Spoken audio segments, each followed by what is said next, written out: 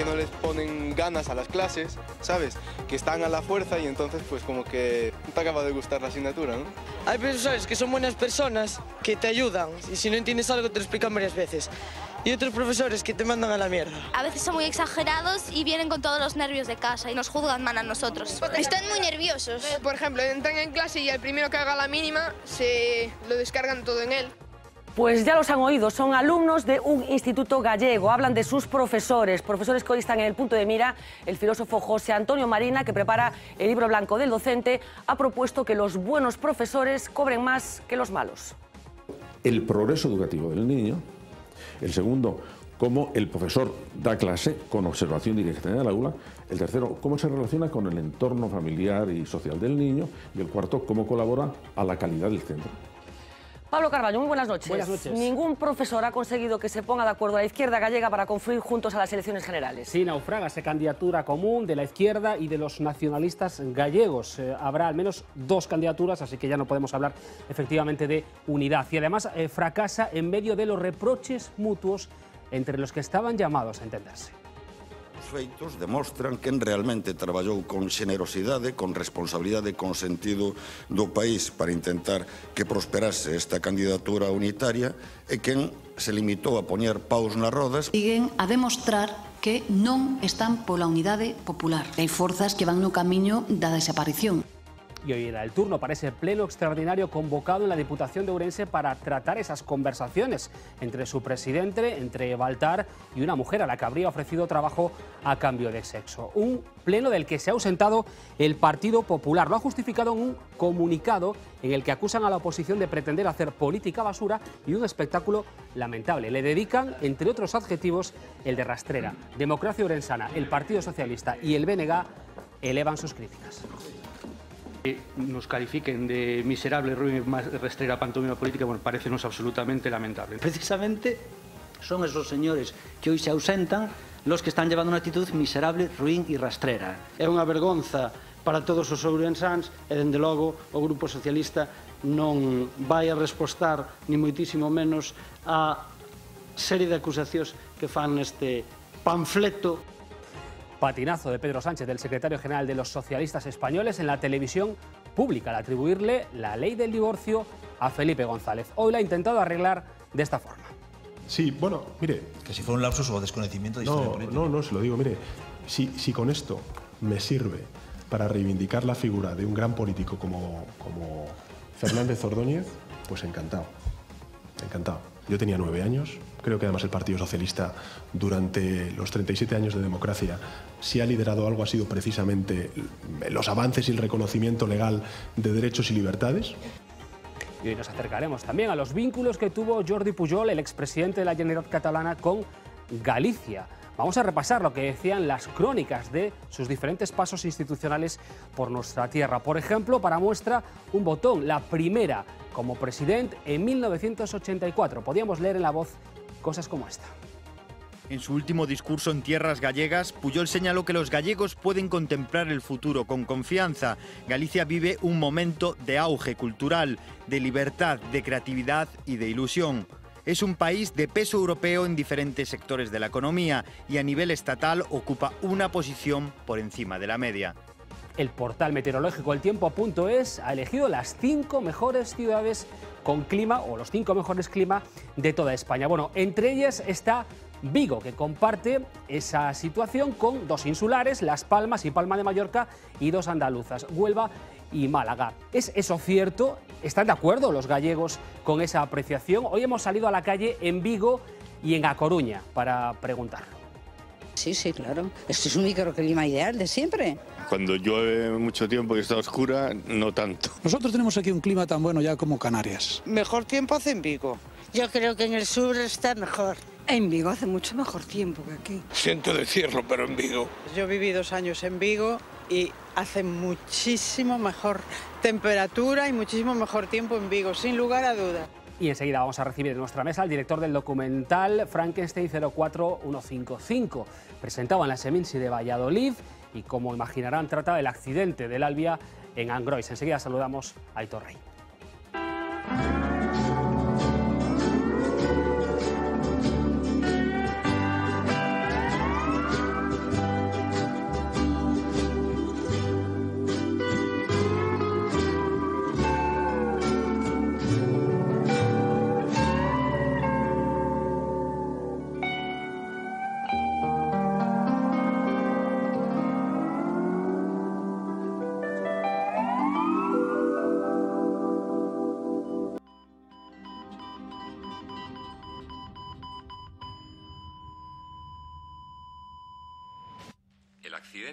Ocurrido en Santiago de Compostela no es un accidente de alta velocidad. Nos han engañado, aquí hay un delito de estafa y de publicidad engañosa.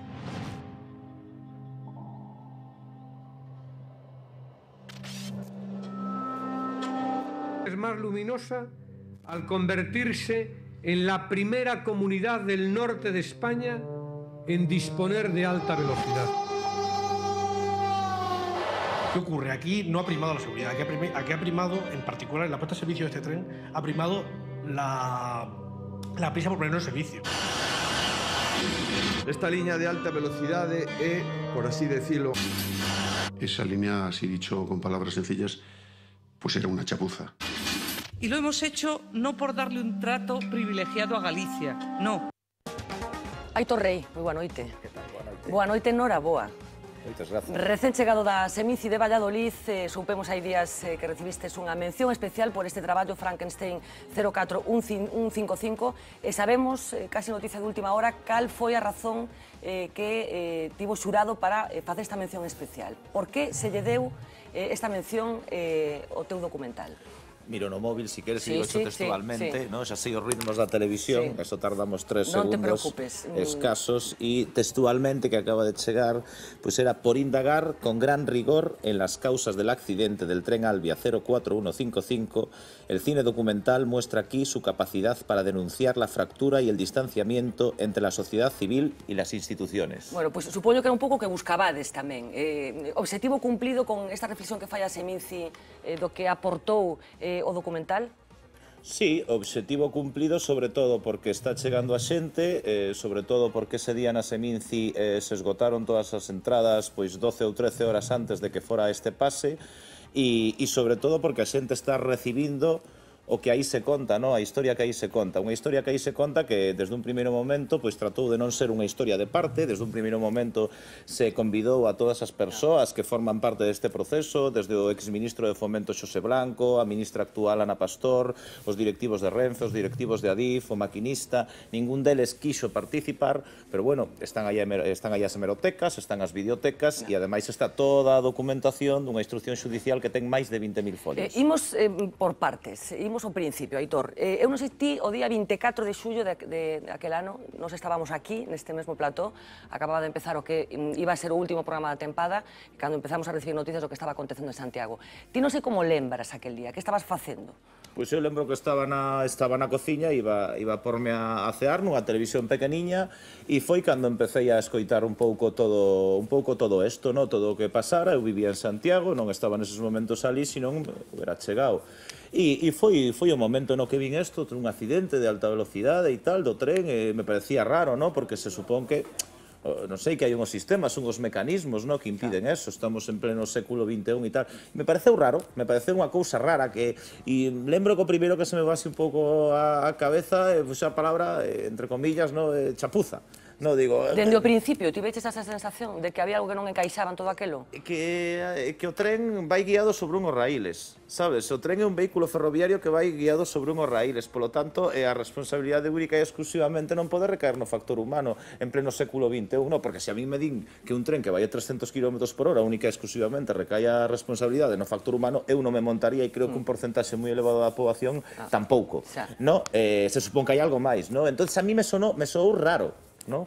De, de ese, esa primeira sensación de extrañeza, eh, como avanzas ata que chegas a meterte no documental en Frankenstein 4155. Pois como avanza? Eu en realidade penso que eh, eh, eu non busco as historias, senón que as historias eh, te veñen a buscar a ti, no? e iso creo que lle pasa a moita xente, mo estes compañeros de, de profesión, porque eu ia a marcharme a... tiña a intención de marcharme a Libia co, co un payaso galego que Iván Prado, de Payasos en Rebeldía, que vai actuando ¿Sí? polas zonas en conflicto, Libia, Palestina, eh, todo isto, no? Que pasa? Que eh, unos, un par de días antes, ou unos días antes, unha semana, creo que foro así, subiu moito a tensión en Libia, polo tanto a viaxe había que pospola e esa ese documental que eu quería facer, pois tiñase que, que pospor, no? Entonces, eh, pasara moito tempo, xa sete, oito meses de que fora o accidente e todo, pero eu estaba por internet e vin un post da plataforma de víctimas donde eles denunciaban unha serie de nelixencias ou errores. E mandei eh, un simplemente por, por as redes sociais mandei un contacto. Contactaches con eles? Sí, pero pensando que non me ia contestar porque supoñía que, bueno, que os medios de comunicación estarían cansados e respetando. Eu non iba a mandar, non ia mandar unha mensaxe máis, esa era a única, tiña cinco liñas esa mensaxe, se non obtiña resposta, non ia... Pero, eh, unha mensaxe xa eh, propondo eh, que tiras, eh, que estabas disposto a facer algo con todo aquilo. Sí, esa mensaxe decía máis menos porque eu vía que denunciaban unha, unha serie de cuestións concretas, ¿no? Entonces eu solicitaba a documentación eh, real de eso que les denunciaban, sí. ¿no? Porque les puñan que tiñan, sí. a docu que tiñan parte desa documentación, ¿no? Entonces eu solicitaba documentación, porque claro, evidentemente eh, unha víctima forma, é, eh, é parte claro, de ese proceso, claro. polo tanto non é, non é obxectivo, claro. ¿no? Entón digo, se si tes a documentación, eu baixo hasta Madrid, miro a documentación e a partir de aí podemos empezar a falar. E a partir de aí empezastes a falar eh, e aquelo supoño que non fixo máis que empezar. Unha vez que empezas a investigar eh, toda esa documentación, todo o que ten que ver eh, cas víctimas, todo o que che contan as víctimas, os intentos de falar eh, ca outra parte, que vas descubrindo, Aitor? Que vas descubrindo? Pois que aquí hai cousas que non cuadran, hai cousas que non, que non encaixan, non? As víctimas tiñan unha serie de documentos que eran como unha especie de camiños a, para empezar a explorar, non?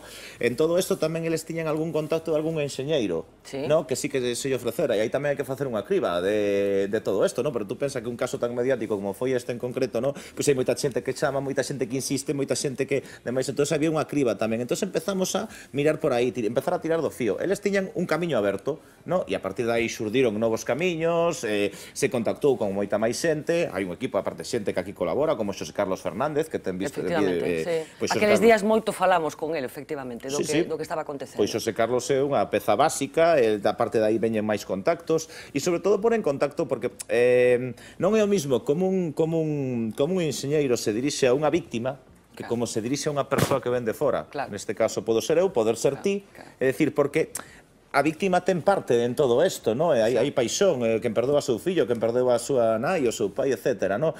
Entón, claro, sempre as víctimas desde, desde fora se soe tratar como con inocencia, no? como se si foran seres inocentes porque forman parte de todo ese proceso. No? E además os enxeñeiros nunca che din, pues isto está mal por isto, por isto, por isto. Te dan un taco de folio e te mira aí.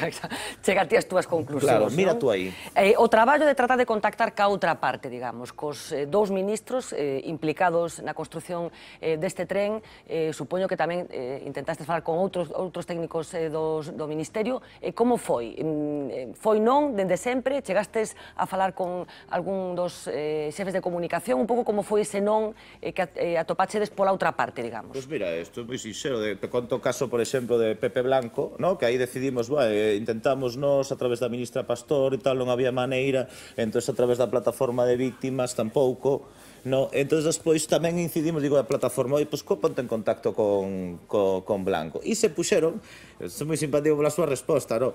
as propias víctimas se puxeron en contacto co ministro Blanco para que participara. Simplemente que unha entrevista, como podía sí. darche a ti, sentarse sí. aquí, tú e lle sí. preguntas e, e carretera, no?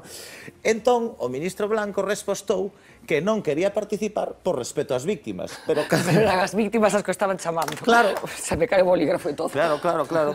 Era, por eso era simpático, non? Decirte, son as víctimas que te están chamando, por respeto a elas, participa porque o que te están convidando. O sea, que, e finalmente foi imposible, no caso sí, dos sí, políticos, Sí, foi impo ¿no? imposible completamente. Bueno, aquí Jesús Domínguez, que, sí. que creo que, sí. que xa falastes con él e demais, eh, inclusive os directivos de Renfe Adif, Jesús é un personaxe bastante, para min, é desas persoas que te, te, que te topas na vida, sí. que sabes que non vas a volver a topar seguramente ou te Igual por a súa bonomia e por, a, e por ser un bo ser humano, ¿no? Un Qué bo bueno. ser humano, ¿no? Qué bueno. Él iba el só que a mí me, eso, aí me ganou, porque se a mí non me colle o teléfono Jesús e me colle calquera outra persoa, é moi probable que eu tampouco fixera o documental, no? Me ganou porque el, o pobre home iba a ser el só, ca súa muleta, saía de rehabilitación e se iba aos congresos de Renfe e de Adif, se colaba no congreso de Renfe e de Adif ca súa muleta, e, a, e agardaba todo o Congreso a que acabaran e esperaba respetuosamente o turno de preguntas e se levantaba e lle preguntaba por unha lista todas as deficiencias de bueno. seguridade hasta que votaban porque despois sempre o viñan a votar. Pero que fixo un máster acelerado tamén, como consecuencia de, do, que, do que pasou, claro. Sí, eu, pero mira, te conto ese caso, e ese caso é unha... e seguro que non lle gusta que o diga, non? Eu penso que Jesús iba nese tren con ca súa muller e sí, ca súas dúas sí. sobrinhas, non? E Viñan a pasar uns días de vacacións sí, aquí, non? Salvaron sí. as catro. Os catro salva, a, a salvaron os catro, salvaron os catro. Entón, eu penso que, que Jesús, eh, a esta loita que mantén, porque se saiba a verdade e porque se coñeza o que ali sucedeu e porque toda esta, e porque esta xente toda morreu... Especie de débeda sí, esa débeda, ¿no? Esa débeda mm. porque en realidad se si tú fas os números, por estadística, ¿no? Había 200 claro. e pico pasaxeiros, morreron 81, a ti te tocaba un e medio, un e medio Carai. dous, ¿no? E non te tocou ningún, ¿no? Como están as víctimas, Aitor? Ti que tiveches, mm, eh, eh, supoño que moitas horas falando con eles, eh, non ca premura que moitas veces temos os jornalistas eh, que facemos un traballo diario de facer unha entrevista un rato, despois pasar outra cosa, ti que estiveste, estiveches empapado, supoño, eh, nesta historia durante eh, moitas semanas, como están? Eh, que perderon, ademais eh, de bueno, pues, da vida moitos deles, a vida de seres queridos, perderon máis cousas nese accidente, perderon, eh, sí. non sei, confianza nos sistemas, mm, que perderon? Sí, ademais hai casos tremendos, no? por, eh, non me te vou a decir o nome, pero xente, por exemplo, que son militares, no? que lle morreu o seu fillo, e xente que creía no sistema, e, a, e aparte, empuxaban este sistema e ahora mismo está eh, indignadísimo, e ahora mismo hai a xente que se lle caeu o seu mundo, no? todo o mundo, toda a confianza que tiña depositada na xustiza, no sistema, eh, neste país e demais, pois se lle caeu. E é moi triste porque só era xente que tú a priori ves, ostra, pois, pues, militar, es un señor serio, claro. aparte, eh, si te fixas no tono cando utilizas nunha entrevista con eles e tal, cando se refire a sus superiores, porque nuestros superiores, lembrome dun en concreto nas entrevistas e tal, nuestros superiores, que se refería aos políticos, claro. consideraba superior. Sí, que a xerarquía inclúe os xerarquía, políticos. Xerarquía, efectivamente, ¿no? esa xerarquía incluía isto, e el tiña un máximo respeto, e ahora mismo, claro. pues, evidentemente, todo ese mundo, que son xente, pois, pues, mellor que ten 50 e pico, 60 anos, 65, todo ese mundo no que creou durante toda unha vida, polo que loitou, polo que axudou e todo, ve que se lle desmorona agora mismo. Eh, decías que non eh, pudestes contactar con Pepe Blanco, con esa situación surrealista que acabas de narrar por respecto ás vítimas, de casualidade, eh, Pepe Blanco estaba aquí, neste plato, cando foi o accidente, eh, como se decía, era en eh, principio fin de temporada, e teñamos previsto facerlle unha entrevista como exministro que, eh, que era, eh, coincidiu que mentras as cousas iban acontecendo, ele estaba aquí no plato. Imos lembrar algunhas das cosas que dixo aquela noite. En este momento ya se empieza a especular que si eh, hubo una explosión, que si mm. hubo un descarrilamiento porque iba a demasiada velocidad. Bueno, eh, yo incluso escuchaba a un pasajero es comprensible que diga estas cosas, pero eh, diciendo en un vagón de que vas en un vagón, hijo, es que cogió la curva. Bueno, o estás en cabina o no puedes ver cómo coge la curva. Por lo tanto, me parece que en este momento, producto de la emoción, del impacto, pues se dicen muchas cosas y yo creo que lo que hay que es que tener tranquilidad, serenidad, analizar bien las causas. Es verdad que España tiene un sistema de seguridad eh, eh, que está muy bien, que está muy, muy testado. El peor tren eh, español es el mejor tren de los Estados Unidos de América, que es la primera potencia del mundo, al menos de momento. Eh, lo más fácil en este momento es utilizar el populismo, la demagogia. Siempre puede haber un fallo, pero eh, eso está previsto para que cualquier... Y eso incluso desde los centros de control en los casos de los trenes se pueden paralizar los propios trenes que utilizan la red de la alta velocidad. Es decir, que hay una tecnología punta eh, en este sentido, pero se han revisado recientemente los protocolos eh, tanto de, eh, para accidentes aéreos como para accidentes ferroviarios. ¿no? Eh, sei se están actu actuando xe correctamente porque non o sei, por lo tanto non podo opinar.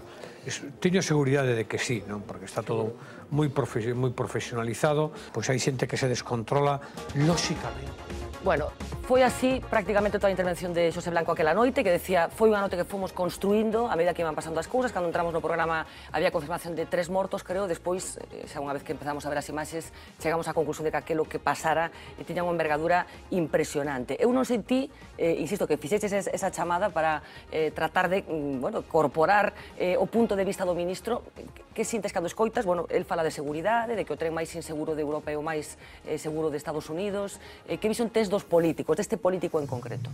Home, pois pues, eh, se acaba de ver, el, eh, el está opinando e non está dando absolutamente ningún dato obxectivo, simplemente está eh, soltando unha serie de banalidades sobre a seguridade e sobre demais, pero non fala de, por exemplo, no neste caso non fala de por que eh, o proxecto orixinal que tiña 12 anos por que se modificou oito meses antes. De aí non fala e o mellor Pepe Blanco debería falar de por que se modifica o proxecto orixinal que in, incluía e estaba creo que eh, palabras de Xosé Carlos, ademais, estaba dado o, os 8 kilómetros do sistema de seguridade ERTMS, sí. que é un sistema para xente, que é un sistema de control sí. continuo de velocidade, sí. que frena automáticamente o tren se si vai a máis velocidade da que ten que pasar nun determinado punto. No? Curiosamente, ese sistema que estaba proxectado non se montou nos, nos 8 últimos eh, kilómetros de, da línea que une Ourense con, con Santiago. No? E por que non se montou? Porque o 25 de abril de 2011, o ministro Blanco A proposta de Adif modificou o proxecto orixinal de construción da vía. Que gañamos os galegos con esa modificación do proxecto orixinal da construción da vía? Pois creo que nada.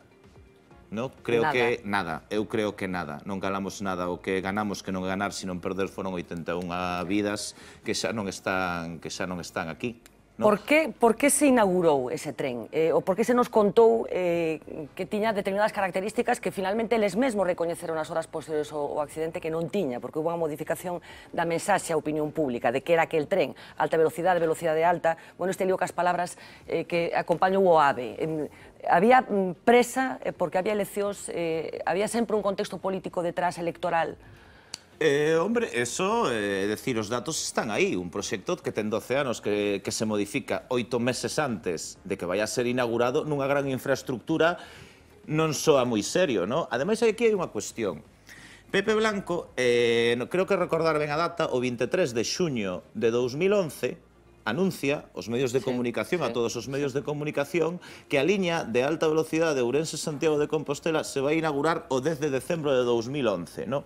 E a miña pregunta é, a pregunta que eu lle faría ele, como el sabía que os certificados de seguridade de, que, que dicen que esa vía se pode inaugurar e todo iban a estar preparados o 23 de xuño que é cando ela anuncia se os certificados orixinais da Dirección Xeral de Infraestructuras, de ADIF e de Renfe e do certificador INECO chegan todos o 9 de decembro, decir, o día anterior a inaugurar, o 7 de decembro, tres días antes de inaugurar, e o 5 de decembro, cinco días antes de inaugurar. Nos países desarrollados, pois, primeiro, os enxeñeiros certifican a seguridade e lle dicen ao político, claro. eh, cabaleiro, claro. está todo listo. Claro. A partir de agora, fago que queira. Fago que vostede queira e inaugure cando proceda. Claro. Neste caso, pola propia documentación e pola propia videoteca, se pode revisar que el anuncia a inauguración desta de vía o 23 de xuño de 2011, no? cando os certificados que avalan a seguridade de esa vía chegan o día anterior á inauguración da vía, en decembro. Polo tanto, co, a non ser que el utilice que, e que o Ministerio de Fomento utilice bolas de cristal para, para poder inaugurar, pois non ten moita... moita e que as cousas que sabes hoxe, ti crees que ese accidente iba a pasar tarde ou temprano? Sí, lle tocou a eles. Lle tocou a eles, pero te podía haber tocado a ti, a min ou a calquera. Eu collín ese tren moitísimas veces e me, me, me pudo haber tocado. Solo faltaba que eu, o maquinista, se despistara ou que recibira unha chamada, unha chamada corporativa, xa, unha, cha, unha que chamada... Que el tiña que atender. Que tiña que atender, unha chamada que tiña que atender non sendo o maquinista eh, alguén que tampouco me llegar de especial simpatía, non polo erro, ni non por, por, polo despiste, porque eso lle pode pasar a calquera, sino porque non quixeron colaborar. Nin o maquinista, nin o eh, sindicato de maquinistas, que o SEMAF... Non quixeron colaborar no, no documental no, no, absolutamente, tampouco. nin cas vítimas tampouco. Eh? Podes preguntar se si sí. falas con co pois presidente da plataforma de víctimas. Jesús Domínguez, moi boa noite. Hola, buenas noches. ¿Qué tal? Buenas noches. Muchísimas gracias por eh, atender a esta llamada. Estamos aquí con, con Aitor, eh, felicitándolo primero por la repercusión que el documental del que sois vosotros protagonistas ha tenido en la Semici. Y lo primero que te pido, Jesús, sé que estuviste en la proyección en Valladolid. Eh, ¿Qué sentisteis las víctimas? Te pregunto a ti como, como presidente de la, de la plataforma. Supongo que es un sentimiento compartido por todos. Sí, bueno, pues un, con- pues un sentimiento también ¿no? de, de indignación y de rabia al comprobar que, que, bueno, pues que, que este accidente se podía haber evitado y que hay muchas más responsabilidades aparte de- del maquinista, incluso responsabilidades que entendemos más graves, ¿no? De gente preparada, de gente forma- con formación, gente que trabaja en departamentos de seguridad y bueno, parece que, como ya indicó el juez Alaez en, en sus primeros autos, Sí. pues primaron otra serie de, de cosas que la seguridad, ¿no? Mm. Primaron pues, pues las prisas, los retrasos o las inauguraciones, ¿no? Eh, eh, ¿Qué os aporta el documental, Jesús? ¿En qué os ayuda a, la eh, a las víctimas este, este trabajo firmado por, por Aitor? Bueno, pues es un trabajo excepcional, muy bien documentado y bueno, pues al final, pues bueno, la instrucción, yo quiero recordar que son más de, de 20.000 folios, ¿no? Lo que es la instrucción, ¿no? Y entonces ahí, pues, pues después de un trabajo enorme que, que se ha realizado, pues bueno, pues al final, pues bueno, la gente al final yo creo que, que le resulta más fácil y el ejercicio de investigación didáctico que, que ha hecho Aitor y su equipo, pues es fantástico para que la gente lo vea. Lo que pasa que, bueno, también lo ves y también es desolador, ¿no? El, el comprobar que las cosas se hacen de, de esa manera, ¿no? Mm. Aitor nos estaba contando que durante muchos meses tú eh, te dedicaste, todavía con las secuelas del accidente, a ir a toda cuanta reunión había de técnicos de Renfe para tratar de eh, averiguar, de saber qué había sucedido. ¿Cómo fueron aquellos primeros meses? ¿Te sentiste muy solo, Jesús? No, bueno, yo también he estado acompañado pues, de, de otros miembros de la asociación, de, de Teresa, de Laura, de, de Luis, de Rogelio, ¿no? Lo que pasa que, bueno, también hay que entender que la gente que ha perdido un familiar, pues también resulta más duro, ¿no? Eh, al dolor de la, ¿no? De perder un familiar cercano, pues encima tener que iniciar una lucha, incluso ha habido gente que se ha ido cu- dando cuenta luego y gente y víctimas que supongo que al ver el documental pues se quedarán sorprendidas, ¿no? De, de la cantidad de datos y de la cantidad de negligencias que, que había, ¿no? Entonces es bueno, pues es un poco esa, esa parte pues es pues es dura, ¿no? Darse cuenta de que había muchas más más causas que las que intentaron en principio hacer creer a todo el mundo, pero vamos, que es una cosa muy sentido común, o sea, nadie se puede imaginar que un tren de alta velocidad que cuesta millones de euros, unos sistemas que cuestan millones de euros en el siglo XXI, que nos digan que depende de un maquinista, pues es una cosa que es un insulto a la inteligencia y al estado de la tecnología, ¿no? Mm. Yo creo que es un insulto a todos los ciudadanos. Eh, ¿Qué sentís eh, con determinadas ausencias? Las ausencias de los ministros, en el documental me refiero, pero las ausencias también de, me estaba contando Aitor, de, eh, del propio maquinista que llevaba el tren en ese momento, pero del sindicato de maquinistas también. ¿Por qué creéis que no han, creído, no han querido eh, participar en este trabajo que tenía una premisa previa, que era dar todos los puntos de vista y que finalmente algunas personas decidieron no acudir a esa llamada? Claro, ese era un empeño de, Aitor, ¿no? Porque él lo que quería era pues, tener una mirada objetiva y que participara todo el mundo, ¿no? Y, lo intentó y bueno, pues hay gente que no ha querido participar, ¿no? Como el Ministerio de Fomento, la ministra Ana Pastor, José Blanco y, y bueno, y tampoco pues el maquinista a través de su abogado tampoco ha querido participar, ¿no? Pues bueno, la verdad es que no lo entendemos y no sé si es que algo tiene que ocultar o, o no quiere decir, porque siempre nosotros ya le pedimos en una carta públicamente que él por dos veces eh, dijo que, que eso estaba mal señalizado, que se lo habían dicho a los de seguridad, que iba en vía libre. Y bueno, yo lo que siempre ya lo he dicho antes, yo lo que he hecho en cara al maquinista es porque antes ellos, eso saben que está mal, porque no lo denunciaban. Ya. Ahora hemos visto unos paros que ha hecho el SEMAF, ¿no? Por mejorar las condiciones laborales, que nos parece muy bien y muy justo, pero no sé, que se Ujú. juegue con la vida de las personas me parece que es bastante más grave y no entendemos por qué no ha habido esas protestas y luego pues parece que no, no dicen nada de esto, ¿no? Eh, el día del estreno del, del documental en la Seminci, mm, bueno, pues el, el fiscal hizo público su escrito de acusación. Eh, vosotros decís que no fue una casualidad. Bueno, a ver, eso no, no lo podemos eh, certificar. Lo que pasa que curiosamente ya había rumores en, en julio de que, de que el escrito, el, que el auto del juez ya estaba preparado para, para octubre, nos lo dijo algún periodista, ¿no? Y resulta que estaba preparado para octubre y justo sale la semana que se abre el juicio oral la asunta. Pues una casualidad, pues una casualidad que evidentemente Contra, no te- contra, contraprogramación se llama eso, ¿no? no lo sabemos, pero es una casualidad. Y luego, justo el día del estreno del documental, justo el escrito, el fiscal que tenía más tiempo para hacerlo, justo también lo saca y habla del dinero. Pues bueno, eso cada uno yo creo que es libre de sacar las conclusiones que quiera, pero vamos, son ya muchas casualidades las que hemos tenido, ¿no? Eh, ¿Qué esperáis a partir de ahora, las víctimas, Jesús? Bueno, pues sobre todo yo creo que lo que necesitamos es el apoyo de la sociedad y que la gente se entere de realmente de todo lo que pasó y de estas negligencias y de estos intereses que hay detrás y que provocaron al final que, que se produjera este accidente, ¿no? Que es una cadena de errores que empieza de- muy desde arriba y al final acaba con el error y con la y con el despiste del maquinista, pero es muy importante que la sociedad lo conozca, que la sociedad nos apoye y que la sociedad pida cuentas a, a los responsables y a lo mejor, pues oye, la justicia ya pasó con el Metro de Valencia, ¿no? Claro. En un principio pues no pasaba nada y luego se reabrió Se el caso, ¿no? Nosotros al fiscal le hemos pedido que investigaran muchas cosas y resulta curioso, ¿no? Que hasta los peritos, sobre todo los designados por la Asunta, que tenían que evaluar el material rodante, es decir, el tren, que estaba todo bien, es que no saben ni lo que pesa el tren. Y al fiscal le dijimos que mirara el tema de la homologación del tren. Entonces, a mí me da la sensación que ha habido gente que ha investigado bastante más que la propia fiscalía. Y que esperáis que esto acabe apareciendo, supongo que es vuestra esperanza, ¿no? Sí, nuestra esperanza es esto que yo invitaría a- al, al fiscal y, y al juez nuevo, porque llegó nuevo y Sí. con 25.000 folios, no sé si habrá dado tiempo para leérselo todo, que a lo mejor que visualicen el documental, que yo creo que es una gran ayuda. Eh, Jesús, eh, mucha gente perdió la vida, decenas de personas perdieron la vida, mucha gente perdió a seres queridos.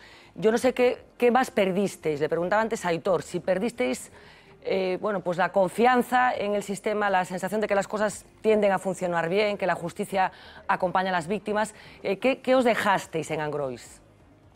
Bueno, pues evidentemente, bueno, lo más importante es la gente que perdió a sus seres queridos, eso, eso es lo más importante, pero luego yo creo que es el no dejar descansar a estas personas y a, las víctimas. Bueno, yo iba en el tren y, y tuve, tengo varias secuelas que el hecho de que lo que quieres es la verdad y la justicia, para sobre todo para que no vuelva a suceder, porque es como los niños pequeños, y si haces las cosas mal y no hay ningún tipo de responsabilidad, pues volverá a ocurrir, ¿no? Entonces, que no se sepa la verdad, que se señale a los responsables, que, que, por lo menos dejen sus cargos, ¿no? Y que la gente pueda descansar tranquila porque hay gente que conoce realmente todas estas negligencias y no entiende y no puede descansar porque encima no solo eh, has perdido un ser querido o, has acabado mal, sino que además no te dejan descansar porque no, no, no, no hay justicia, ¿no? Entonces esto es, es, nos parece pues muy injusto y, y, muy terrible, ¿no? El hecho de que, de que, no, de que no haya responsabilidades, ¿no?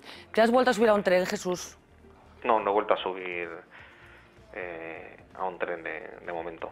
Bueno, estoy aquí con Aitor. Yo no sé si Aitor le quieres decir algo a Jesús. Estuvisteis hace pocos días juntos. Eh, Aitor, te voy a confesar, Jesús, que me acaba de decir que el documental ha permitido encontrarse contigo. Un, una persona que rezuma bonomía, me acaba de decir Aitor en la conversación que estamos manteniendo. Os invito a saludaros, Aitor. Eh, tienes a Jesús al otro lado del teléfono. No, hombre, él ya sabe que yo le tengo, que yo le tengo mucho cariño porque además eh, él estuvo miles de horas conmigo investigando esto y él era quien, quien me recogía, quien me cogía el teléfono a las 2 de la mañana y a las 3 de la mañana y, y, estamos hablando de miles de horas, es un año y pico, y, y, si Jesús no hubiera, no hubiera iniciado esta investigación y si Jesús no, no se hubiera puesto con esto, pues yo nunca llegaría a esta historia en el, en el punto en el, que, en el que llegamos, ¿no? Jesús es una pieza base en todo esto, ¿no? Y yo creo que descubrí pues, a una gran persona de esos pocos seres humanos que te encuentras en, en la vida, ¿no? Uh -huh. Ese para mí es, es Jesús, sobre todo su capacidad de esfuerzo y su espíritu de sacrificio y de, y de superación, y además eh, lo, que, lo que percibes tú entre todas las víctimas y todo esto. Por eso él ahora lo citaba, ¿no? Cuando dice que el propio día que se estrena la película el fiscal sale con las indemnizaciones. Yo, sinceramente, conociéndolos a muchos que los conozco y tal, aquí con dinero no se no arregla nada, ¿eh? porque a Rogelio, que perdió a su hijo David, da igual el dinero que le des, que Rogelio lo que quiere es la verdad y que todo el mundo se entere de la verdad. Y Luis, que perdió a su hija Olguita, que era la novia de, de David, el hijo de Rogelio, que eran dos azafatos del tren, no creo yo que por muchos millones de euros que salgan de, de, las cajas que van a satisfacer a ninguna de estas personas. No hay ningún tipo de interés. Yo no percibí ningún tipo de interés económico, lo que quiere esta gente, porque la mayoría de ellos ya tienen su vida hecha. Lo, lo que querían claro. era que su hijo le diera un nieto, ¿no? O que su claro. hija le diera un nieto. No quieren un millón de euros ni nada de esto. Entonces sí que me, quiero recordar que ese día sí que estaban ofendidísimos. En, y entre ellos Jesús, ¿no? Que yo me enteré de que el fiscal había... Eh, hecho su escrito, sí. Hecho su escrito el mismo día, ¿no? Entonces yo cuando lo vi llegar ya lo vi que me digo, ¿qué pasa, hombre? No, pues acaba de hacer esto, es lo que decías tú, contra programación y todo esto y tal, ¿no? Y, hombre, será triste que en el día donde ellos se van con una ilusión de que van a ver, pues, oye, pues la verdad, ¿no? O, que ellos, o la investigación de todo lo que sucedió ahí, que ya entren tensionados, ¿no? Pues no... Porque, va a, haber, porque va a haber otra fuga de información por otro lado. Yo supongo, eh, eh, Jesús, que bueno, de, dentro de la inmensa tragedia que habéis vivido, también os ha permitido esto conocer, os seres humanos, eh, que supongo que habéis sacado cosas interesantes también de esta relación que se está estableciendo entre vosotros, ¿no? Bueno, claro, sí, al final pues te juntas y conoces a gente excepcional, ¿no? Y yo también quería decir desde aquí un poco, pues bueno, que también nosotros estábamos dentro, llevan el tema, hay gente que ha perdido familiares, pero bueno, yo creo que también hay que valorar que, que, que Aitor y su equipo, la productora, ¿no? Pues ellos han hecho una apuesta muy fuerte y muy valiente que, que nadie ha sido capaz de hacer, ¿no? Entonces ya. para nosotros, o sea, yo, yo agradezco todo el mérito que me dice, o, pero bueno, nosotros estamos dentro de la historia y, y bueno, nos toca y es más fácil hacer esto, ¿no? Te sale de dentro, ¿no? Pero joder, ellos y Aitor y su equipo, pues pues también miles de horas, un montón de trabajo y, y muy valientes porque estamos hablando mm. de, de muchos intereses que, que yo quiero transmitir una cosa porque al final esto se lo dijimos a la ministra, ¿no? Yo creo que es importante que la gente lo conozca. Nosotros no tenemos nada en contra ni de, de alta velocidad, ni del AVE, ni del Ministerio de Fomento, ni de Renfe, ni de Adif. Lo que queremos es la verdad y realmente quien hace daño es quien está ocultando, quien no entregaba los datos al juez, quien no crea una comisión de investigación independiente porque no lo es, quien no nos deja tampoco una comisión de investigación en el Parlamento, que es algo muy democrático y muy transparente. Entonces, a las víctimas que hemos perdido a los seres queridos, que nos han dejado con secuelas, estamos pidiendo cosas muy democráticas. Y cuando me preguntabas antes que cómo te sientes, pues a veces pisoteado y tratado como alguien incómodo. O sea, lo que percibimos es que somos alguien incómodo, que incomoda a determinadas personas. Y nosotros lo único que queremos es lo que quiere cualquier víctima, que esto está estudiado y reestudiado, que es verdad, justicia y reparación. Que es la única forma de cerrar el duelo, supongo. Exactamente. A pesar de todo, Jesús, ¿mantenéis la esperanza? Sí, lo que pasa es que el otro día me preguntaban también esto de la fe y de la esperanza. Lo que pasa es que cuando uno está informado y, y usted cree en la justicia, bueno, pero claro, es que el Consejo General del Poder Judicial, que es el órgano de gobierno, lo eligen el PP y el PSOE, y a su vez eligen al presidente de la Audiencia Provincial, y el fiscal tiene un jefe que lo elige el gobierno de turno. Entonces, uno puede tener fe y esperanza, pero cuando uno se informa, pues también dice, bueno, pues yo puedo tener fe, claro, eh, que tenemos fe y que, y que el juez y que la fiscalía y que la audiencia de repente diga, oye, pues es verdad que aquí parece que hay más cosas. Evidentemente es lo último que se pierde, pero mm, parece complicado. Bueno, Jesús, pues de verdad, mm, te agradecemos muchísimo que eh, nos hayas eh, contado cómo te sientes. Eh, alabamos mucho el éxito del, documental del que, del que, sois protagonistas y cuyo objetivo finalmente es el que dices, que se sepa la verdad de lo que sucedió allí. los gallegos también lo reclamamos porque es algo que nos compete especialmente. Muchísimas gracias de verdad y muchísima suerte. Pues gracias a vosotros e mando de aquí un abrazo para todos e en especial a Hitor. Un abrazo moi fuerte, Jesús. Bueno, eh, o documental, ademais, eh, inicia unha peripecia interesante agora. Eh, falábamos antes de empezar que non é moi eh, habitual que un documental destas características entre no circuito convencional de cines. Vaise poder ver nos cines este documental. Sí, afortunadamente, despois de moito traballo e moito esforzo e de toda a repercusión que está tendo, pois chegará o día 24 de novembro, ademais a Ferrol, despois o 3 de decembro entrará no Cineclube de, de Ourense, que como a presentación para o día de Red, que vai a chegar aos tiños comerciales tamén de Ourense, de Pontevedra, de Santiago de Compostela, Madrid, Santander, eh, Ciudad Real, e vamos, e estamos cerrando moitos máis sitios, va Madrid, Valencia, Barcelona... En Cine Europa estades tamén. Cine Europa estamos o, daza, as próximas datas é o, o día 7, decir, este sábado no Círculo de Bellas Artes, en Madrid, que xa está todo a foro completo, despois de aí nos vimos para o 18 Festival Cine Europa en Santiago de Compostela, o 23, o 23 Festival, Cine, eh, Festival de Cine Europeo de, de Segovia, 24 chegamos aos cines eh, en Galicia, Galicia cubrimos mm. enteira e polo, e polo resto do Estado eh, tamén. Eu, preparando a entrevista, pensaba, ti desde Ourense como a min, eh, Ourense foi un, eh, un lugar particular neste accidente, porque aí houve xente que baixou, sí. e xente que subiu pues, eu pensaba igual que a ti, que tamén es nesa, nesa, misma, nesa misma poética, claro. ¿no? Porque ese peche de porta ou esa abertura de porta claro. era a última oportunidade de baixar. Era a última estación antes do accidente. Sí, ¿no? desgraciadamente aí subiron paisanas claro. túas e, claro. e miñas, que son catro mulleres que, sí. que morreron, ¿no? que Carolina, sí. eh, Bea, Eva e non me acordo agora sí, de última, pero... máis catro, máis catro, supervi, máis catro supervivintes, ¿no? Entonces, e pois xente pues, que bueno... baixou tamén e que se librou do accidente. Sí, claro. xente que baixou e que, e que librou. ¿no? Aí xoga un punto Ourense, ¿no? O ese... Ese sí o destino. E aí, aí ademais é onde empeza a línea Ourense-Santiago, no? ese, ese tramo que, que triste é no? que a nos nos vai a tocar tamén este tipo de de cuestións, non? Xa Ourense, pois é sí, unha cidade, sí, non? Que, que, hoxe, hoxe vamos seguir falando de Ourense vale, por outras correcto. cousas. Bueno, Aitor, eu non sei ti como, como responsable deste, deste produto que te aportou a ti. Eh, interesado como estás nas cousas que acontecen na, na alma humana, eh, bueno, tivo algo diferente este traballo. Eh, que sabes hoxe que non sabías antes? eh, de como funciona este mundo? Pues me certifica, eh, a mí sempre me dicen, ah, ese pensamento negativo, ese pensamento negativo e tal, ou ese tal, por moitas cuestións. Digo, ah, no, pero sempre, porque sempre lle busco a volta, no? a volta as cousas, no, pero es que isto é así, pero por que é así, no? Por que este o, o tal, no? E tristemente, digo, pff, dicía un colega meu, es que eu que certifico. Claro, porque decía Jesús, eu quero ter fe, pero é complicado Claro, ter fe. eu quero ter fe, no? Eu tiña fe e, ademais, se te, cando vexas o, a peli o sí. docu, no? Vas a ver que eu non opino. Eu como director non opino do documental, estaba todo basado nos 20 e pico mil follas de instrucción que si estaban aí as mirei eu, que non son, que son un perfil medio, sabes, calquera, eh, si buscar un pouco máis, no, pois tamén podería podería topar por aí, no? É dicir, tristemente pois eh, te certifica todo o pensamento negativo que podes ter tú sobre determinadas cuestións. Despois desto que? Como que andas? Andas con algo xa? Uh, un mima, é que isto é tamén unha cousa como te leva milleiros de horas e demais. Entón agora está para sair nos cines e todo agora temos montado un cipitoste con, con conseguir sair os cines e sobre todo con que a xente vai a velo, porque aquí hai unha cuestión clara.